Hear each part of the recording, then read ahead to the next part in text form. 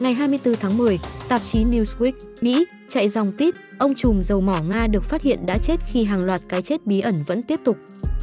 Cụ thể, ông Vladimir Nekrasov, chủ tịch hội đồng quản trị của tập đoàn năng lượng Lukoil, công ty dầu mỏ lớn thứ hai của Nga, đã đột ngột qua đời ở tuổi 66 vào hôm 24 tháng 10. Hãng tin TASS, Nga, dẫn thông tin từ công ty Lukoil cho biết theo kết luận sơ bộ của các bác sĩ, ông Lukoil qua đời do suy tim cấp tính.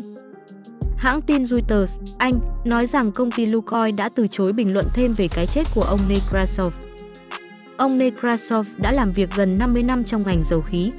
Lukoil thông tin ông từng giữ các chức vụ là phó chủ tịch thứ nhất của Lukoil và cố vấn cho chủ tịch công ty này.